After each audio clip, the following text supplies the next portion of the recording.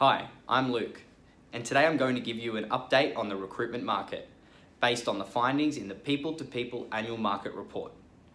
Generally speaking, this report covers a wide range of market data across different geographies where People2People has a presence. Key information includes job vacancy statistics, income growth numbers, salary and wages across key disciplines, and employment trends. In my area of accounting and finance, you will see that salaries have been on the rise, career move is one of the main reasons why people are seeking a new role, and that flexible work practices are more commonplace than in recent years. Overall, it is a very positive employment market. So if you are looking for a new opportunity, please do not hesitate to contact me on 02 8270 9756.